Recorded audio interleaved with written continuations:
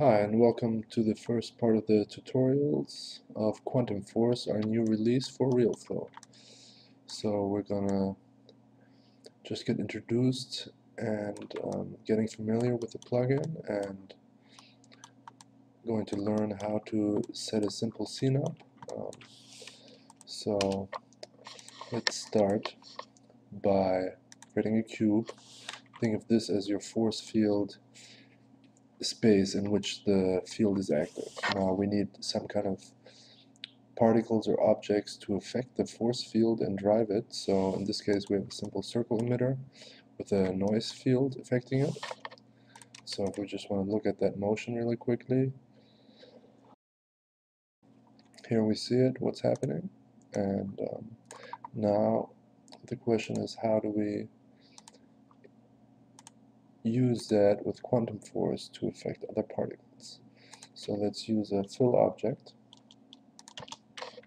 and fill the cube with particles and this is actually the best way to start seeing the effect of the force field if we um, fill the whole cube with particles. Now let's turn off the dots, turn on the arrows and then we can just see the particles that are affected the most.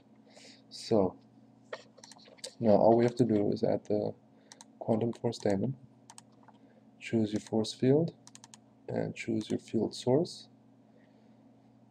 In this case, the circle emitter is driving the force field. Let's change the resolution to 50, accelerate to 10. Let's uh, have all the other modes at 0, and let's have range and fall off at 1. Alright, let's see how the circle emitter is being used to affect the force field and how quantum force uses that to affect the fill object emitter.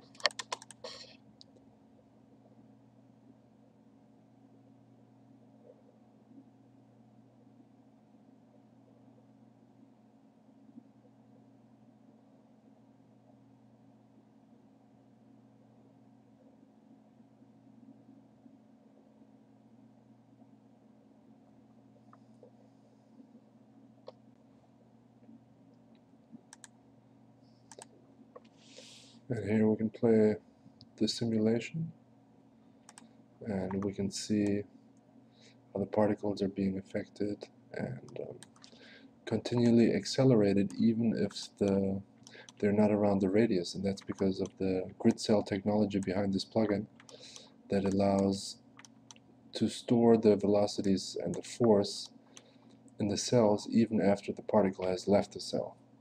And with the decay function you can have control over how you want to uh, slowly reduce that effect. And um, and yeah this is the first this is the beginning of understanding quantum force and how you can become your own force field sculpting master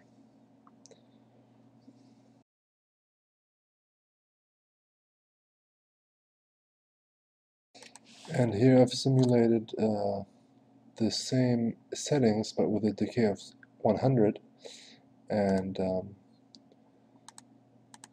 you can see that simulation has changed quite a bit.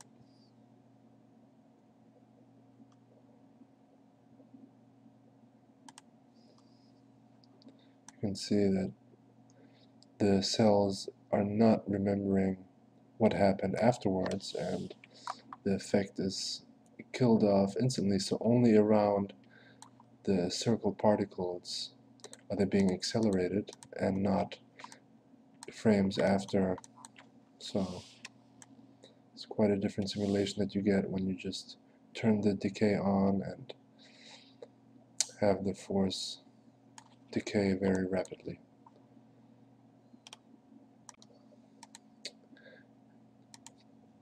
Now let's see what happens when we turn accelerate to zero and just use uh, push. Push affects the particles differently. It doesn't continually accelerate them. And uh, this can be good for a number of things. And here you can see what's happening.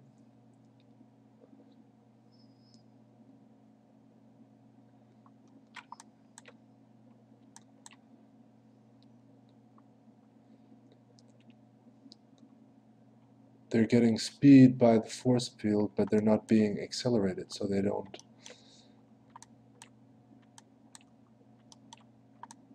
continually shoot in that direction, and it's a more modest uh, way of affecting your fluids. Uh, it's not so drastic and um, can be quite interesting what you get with this effect. Here you can also use the decay as well. So let's look at that simulation. So they're only, you can really see it here in the simulation, they're only being affected around the particle and just pushed around and then they have a slight speed which they retain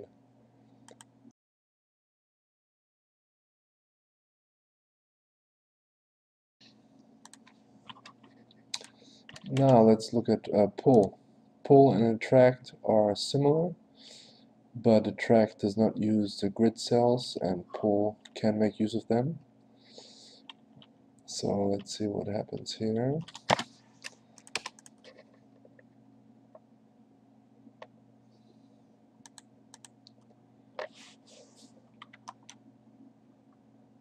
So you can see as soon as the radius around the particles are reached that the particles are trying to move towards the field source particle. And um, again the decay is on zero so that means there is no decay. And uh, you can really see the force field in action. All these particles are continually trying to go in the direction of the first particle. So let's look at that. Let's turn the value up to 50. Let's make it a bit more visible. And now let's see.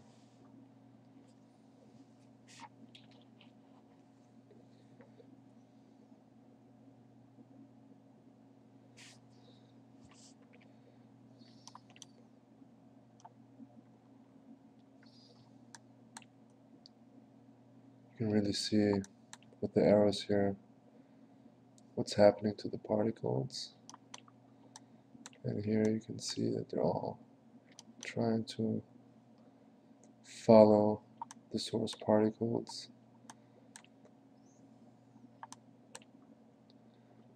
It's really like a rope that you're pulling on it's continually attracting the particles. And again this is only possible with the grid cells.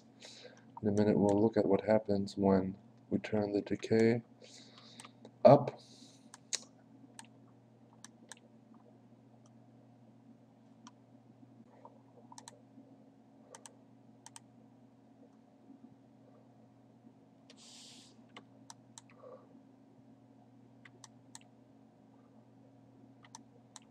Here you can see force field affecting the field object, the fill object, and how they're trying to follow the source particles.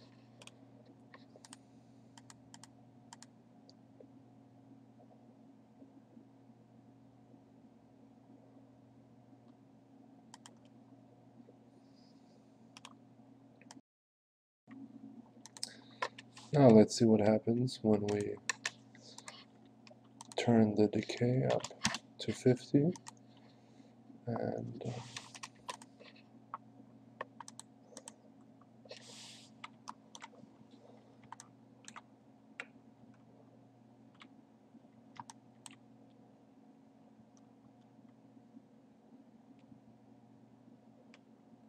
you can see that the effect of this these strings following the particle gets less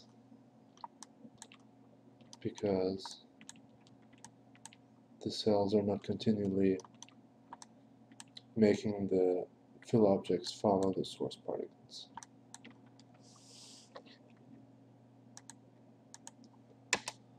Alright, and now we're not going to cover heat in this tutorial, it's uh, coming up in another round. Uh, we can quickly take a look at attract as well. Now attract works without even having a field. Um, sorry uh, without even having a force field space. So here you can see it did deselect the force field but it still works. So there are no cells remembering anything. This also speeds things up of course. And here you can see how attract is really even more than pull like a magnet uh, making the particles stick to the source particle. And we can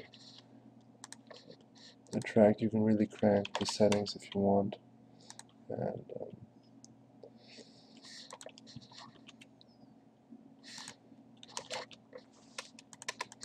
let's see here let's turn the arrows off for a second.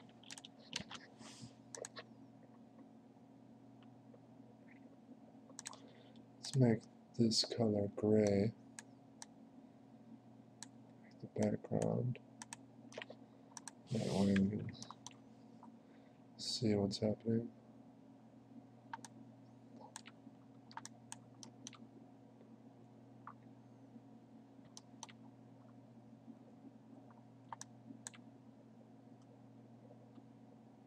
and here they're being attracted again to the source particle with the radius. And you can also play with the drag daemon. If you if you want to crank up the attract setting but slow them down it's no problem. And uh, as you can see just with these uh, few modes you have a lot of control over your particle simulation.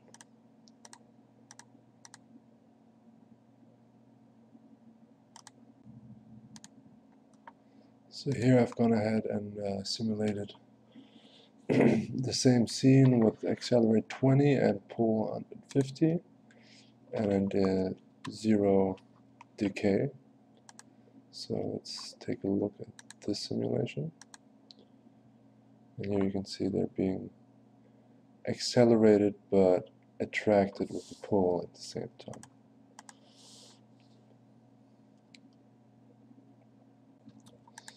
Now let's take a quick look at the filter option and just to make it clear we're gonna turn down all the different modes and I'm gonna create a new container put that under exclusive links and we'll add a gravity daemon just for the container.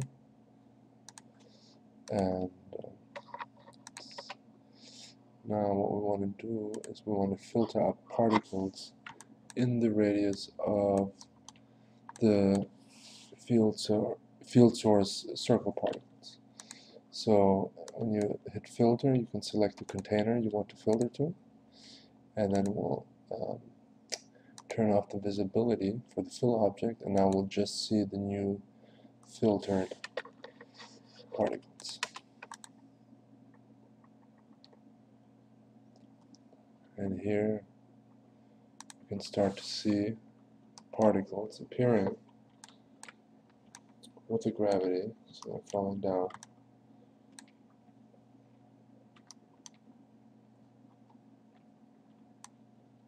And these particles are being filtered from the fill object. And if you want to increase the particle count, make it even more visible,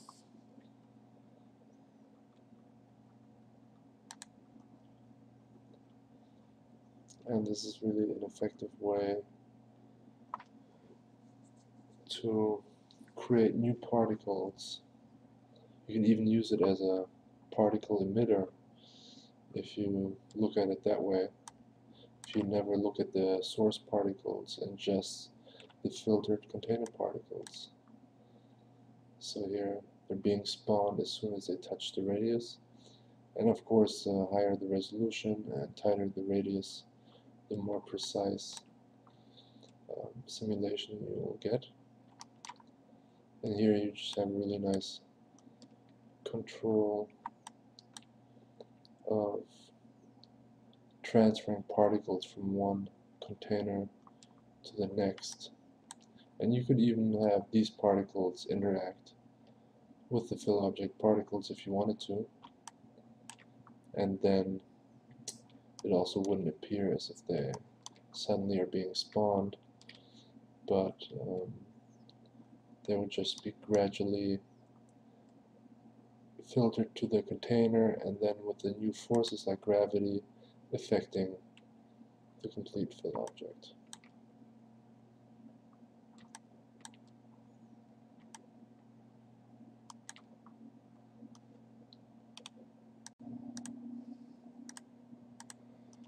So here we can see what's happening, being filtered to a new event and uh, create all kinds of things with this type of filtering. Of course, you can also use objects to filter particles to another container. Thanks for listening so far. I hope this was a good introduction for you to get started. And watch out for upcoming tutorials uh, and more information on how you can make use of this new tool. So stay tuned and thanks for watching.